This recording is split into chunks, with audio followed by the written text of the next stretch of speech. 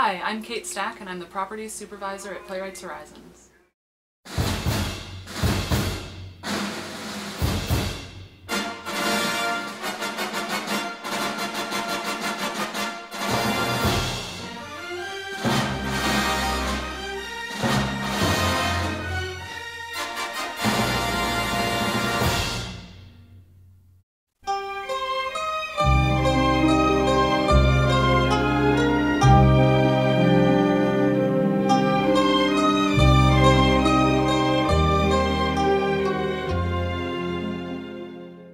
So Roger is responsible actually for transferring the uh, movie theaters in New York from film to digital. So he's doing what we're doing in the play right now. And so we got in contact with him, and he lent us the projector for the show.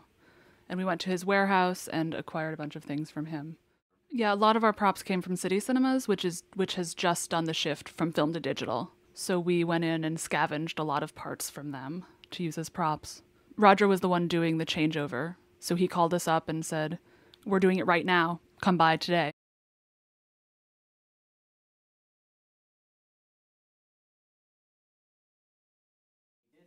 Eva came in to talk to the cast about what her job really is. The life of a projectionist, what she does in the booth when she's not actually working on the film, what work she does while she's in the booth, and then she also taught us, she confirmed with us that we were threading the projector properly.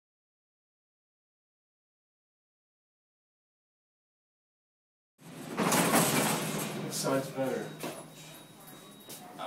this side. This side. That side? I'll be back.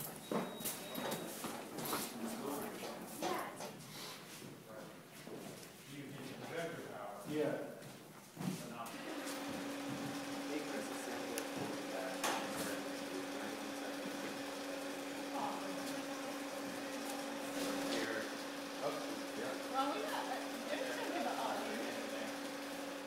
The show is about the ushers. So they're all cleaning up after the trash that people either bring in themselves hidden in their purses or buy from them.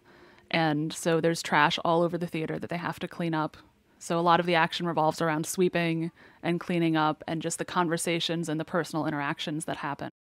We reuse the popcorn every show. So the stage management team cleans it up at the end of the night and reuses it and the trash is also reused as much as possible until it gets too gross to be believable as first run trash. We've shellacked the popcorn to avoid attracting mice. So we came up with a sort of kettle corn spray situation where we spray and we dry it and have it all sealed up.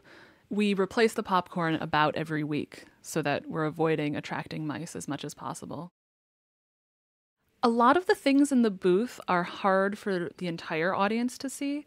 Each individual person who comes to see the show will see maybe two or three feet of booth wall, but because of the sightlines in the house, we really had to decorate a larger portion of the booth.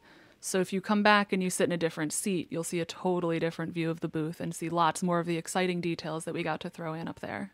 The stuff on the walls in the booth, we pulled we pulled a lot of photos from real projection booths and combined them all. So the main focus of the booth is a whiteboard where Rose would write all of her information about splicing that she needs to do and trailers that she needs to add on to different films.